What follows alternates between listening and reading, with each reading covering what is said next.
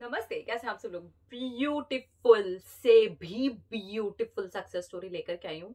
ये ओपोनो प्रेयर की सक्सेस स्टोरी है लव वाइब्रेशन की सक्सेस स्टोरी है ग्रैटिट्यूड जर्नल की सक्सेस स्टोरी है मैनिफेस्टेशन की सक्सेस स्टोरी है। ये एक ऐसी सक्सेस स्टोरी है जो कि मुझे लगता है कि हर किसी को सुननी चाहिए। आपको बहुत आइडिया मिल जाएगा इससे।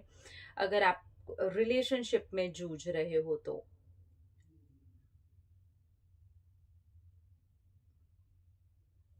हाँ जी, मिल गई मिल गई। एक्चुअली ना ये सक्सेस स्टोरी के ऊपर ना एक वॉइस नोट भी आया हुआ था तो वो उस चक्कर में ना थोड़ी सी मैं याद कर रही थी कि कहाँ है कहाँ है बहुत सारी सक्सेस स्टोरी तो उन्होंने वॉइस नोट भी भेजा था।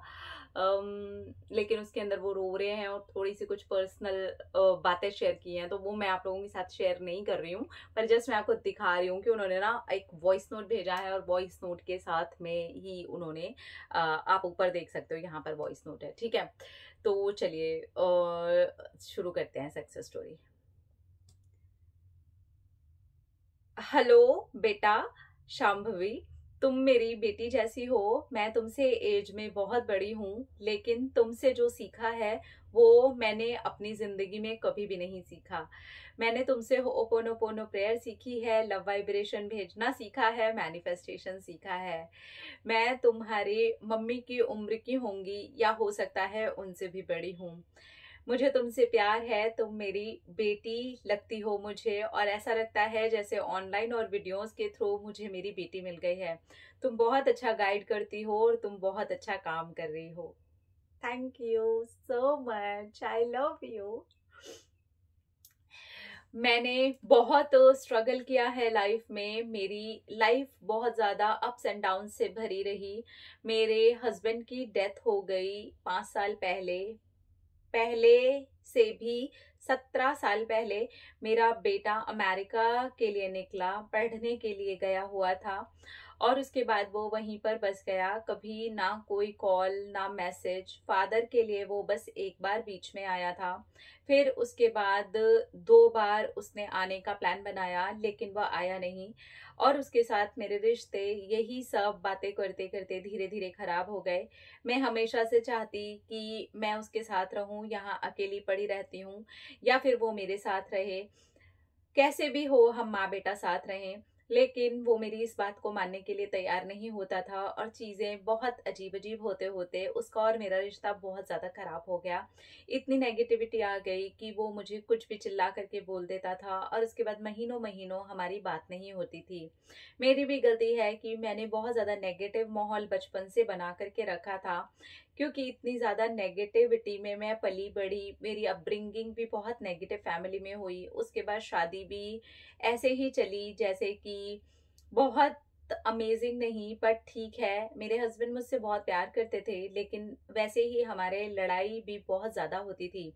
और उसी बीच मेरे बेटे ने जाने का फैसला ले लिया था और पढ़ने के लिए वो जा रहा था, लेकिन पढ़ने के बाद भी वो नहीं आया और वो वहीं पर सेटल होने का सोचने लगा। और इतने सालों में तो वो वहाँ पर सेटल भी हो गया, उसकी गर्लफ्रेंड भी बनी।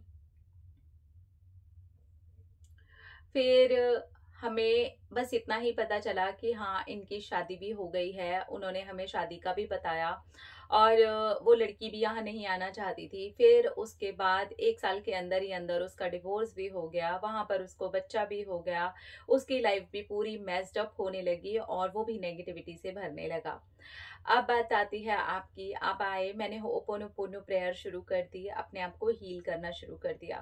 फिर जब मुझे अच्छा लगने लगा, मैं अपने बेटे के बारे में पॉजिटिव सोचने लगी इस बार लाइफ में सबसे लंबा टाइम हुआ था। मेरे और मेरे बेटे की लड़ाई के बाद हमारी बात ही नहीं हुई थी। और लड़ाई बहुत छोटी सी बात पर हुई थी। मैं उसको यही बोल रही थी कि मैं अभी ज़िंदा हूँ और मैं तेरी माँ हूँ और इतने में ही वो बोला कि मैं भी आपका बेटा हूँ, आपसे बहुत प्यार करता हूँ, लेकिन मैं भी बहुत नेगेटिव सिचुएशन में फंसा हुआ हूँ। और इसके बाद हमारी इसी बात को लेकर के बहुत बहस हो गई। फिर मैंने अपने लिए फिर से ओपन ओपन प्रेयर शुरू की और अपने बेटे को मैंने लव वाइब्रेशन भेजनी भी शुरू कर दी।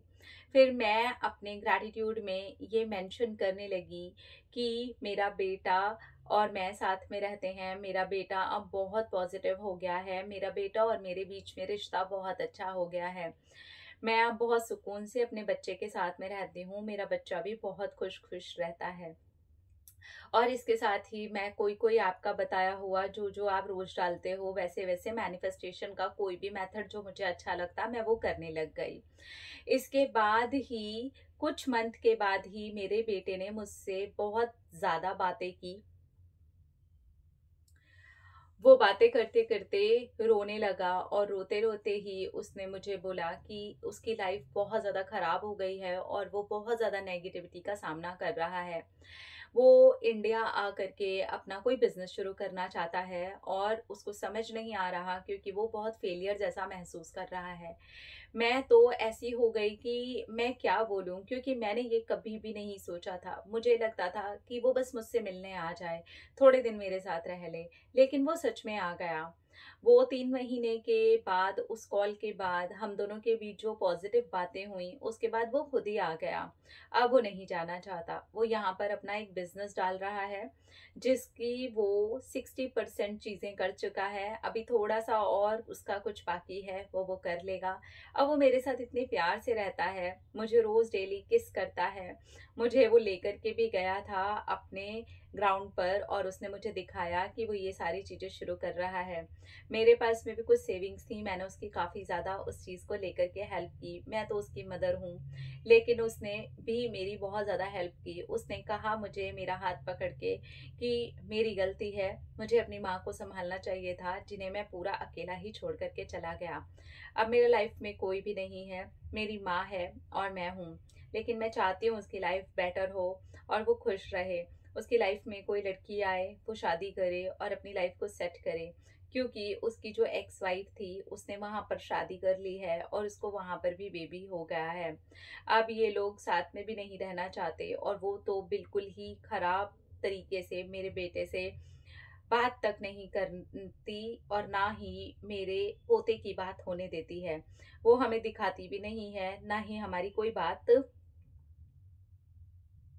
होने देती है। सारी चीज़ें वो ऐसे करने लगी है। लेकिन अब मेरा बेटा बोलता है कि कोई बात नहीं, अब मेरे इमोशनल जितने भी बॉन्ड्स थे सब टूट रहे हैं।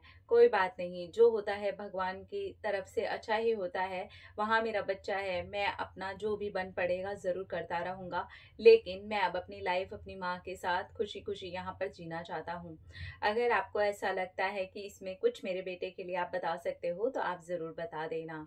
थैंक यू बेटा, आप सच में बहुत ही ज़्यादा अच्छा काम कर रहे हो मेरे बेटे की तरफ़ से भी आपको thank you thank you thank you thank you thank you thank you so much कि आपने अपनी कहानी मेरे साथ शेयर की। Thank you so much thank you thank you thank you अच्छी थी कहानी। इनकी कहानी में देखिए, मैं उन सारे बच्चों के लिए बोलना चाहूँगी, जो दूसरी कंट्रीज़ में जाना चाहते हैं, पढ़ना चाहते हैं, काम करना चाहते हैं, करिए। बहुत अच्छी बात है, करिए, खुल करके करिए। आपको जो करना है, कीजिए। ये बात मैं सिर्फ़ आपसे नहीं कह रही, अपने बच्चे तक से कहती हूँ।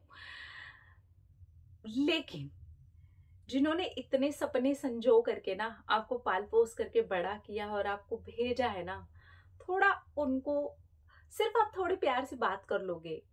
ठीक है, मैं मानती हूँ आप दूसरे कंट्री जाते हो, वहाँ सिचुएशन ऊपर नीचे होती है नेगेटिव माहौल है, उतना अपनापन और चीज़ें एकदम से नहीं मिल पाती तो आप थोड़ी ज़्यादा नेगेटिव हो जाते हो, लेकिन उसमें इन लोगों का कोई कसूर नहीं होता। आवा गए हो, कोशिश करो मैनेज करने की और कोशिश करो इनसे, भले ही आप एक दिन में, एक बार पाँच मिनट ही सही बात कर लो व्हाट्सएप छोड़ दो मैसेज भेज दो, अपनी फ़ोटो भेज दो वीडियो कॉल कर लो, बहुत सारे ऑप्शन है। ट्राई करो थोड़ी सी बात करके। सत्रह साल, उसके बीच में सिर्फ़ अपने फादर से मिलने के लिए एक बार आना। आप सोचो। मैं तो सोच भी नहीं सकती। मैं अपने पेरेंट्स, मैं अपने लॉज इनसे दस दिन, पंद्रह दिन, एक महीना ऐसे भी दूर रहूँ तो मेरे को ऐसा लगता है कि उन लोगों को ज़रूरत हो सकती है, उन लोगों को बात करनी हो सकती है, उन लोगों को कुछ शेयर करना हो सकता है। तो वो इतना लंबा, इतने सालों का गैप। और फाइनली अपनी माँ ने आपका हाथ पकड़ा। तो मेरे भाई, जो भी है, जैसा भी है माहौल अच्छा करो, कोशिश करो। थोड़ी उलझी हुई सी कहानियाँ हैं। लेकिन ठीक है, कोई बात नहीं। अब आप यहाँ आए हो, अपना बिज़नेस सेट कर रहे हो। कंग्रेचुलेशन अब आगे बढ़ो। ठीक है, आप सोच रहे हैं इनके बारे में, इनकी शादी के बारे में, पर मुझे लगता है जब ये रेडी हूँ, जब इन्हें लगे कि हाँ इन्हें अब अपनी लाइफ में आगे बढ़ना है या शादी करनी है या चीज़ों को फैमिली बनानी है अपनी तो मुझे लगता है वो उनका अपना डिसीज़न होना चाहिए और वो उन्हें सोचना चाहिए। करियर में आप उन्हें सपोर्ट कर रहे हो, बहुत अच्छी बात है। माँ बाप यही करते हैं। और बस यही कहना चाहूँगी कि वो उनका डिसीज़न होना चाहिए। आप उन्हें उन, उस चीज़ के लिए रहने दीजिए। और वो, वहाँ पर अगर अपने बच्चे के लिए कुछ भी करना चाहें तो मुझे नहीं लगता कि इसमें कभी भी आप कोई भी बात बोलिएगा, बल्कि सपोर्ट कीजिएगा, उन्हें भी अच्छा लगेगा। बाकी ठीक है, वहाँ पर थोड़े ऐसे है कि इतना इमोशंस और हमारे जैसे इंडिया में अभी भी है, बहुत रिश्तों में इमोशंस और चीज़ें बंधी रहती हैं बट वहाँ की तरफ़ से ऐसा नहीं है। इसका ये मतलब बिल्कुल नहीं होता कि हम वहाँ जाएँ और वहाँ के जैसे ही होने की कोशिश करें। अगर कुछ नेगेटिविटी भी है तो आप अपने घर वालों से बात कीजिए, अपने परिवार में बात कीजिए, वहाँ रहते हुए भी आप जुड़े रहिए, बहुत ज़रूरी है। अपना अपना रखिए ख्याल, अपने आप से ढेर सारा प्यार, ताकि अट्रैक्ट करें ढेर सारा प्यार। इसके अंदर होप ओन ओन प्रेयर लव वाइब्रेशन मैनिफेस्टेशन के लिए बहुत सारे मेथड्स ग्रैटिट्यूड जर्नल के अंदर उन बातों को लिख देना, ये सारी चीज़ें रही हैं और उसके बाद में इनका मैनिफेस्टेशन अपने आप ही थ्री मंथ्स के बाद में कंप्लीट हुआ है। I am really very very very happy for you और आपके बच्चे तक के लिए मैं बहुत खुश हूँ। आपके लिए भी बहुत खुश हूँ। उनके बिज़नेस के लिए भी बहुत खुश हूँ। और अब माँ बेटा चाहे, कैसे भी सही पर साथ रह रहे हैं, मैं इसके लिए भी बहुत खुश हूँ। अपना अपना रखिए ख्याल, अपने बच्चे ढेर सारा प्यार, ताकि अट्रैक्ट करें, ढेर सारा प्यार। I love you all tata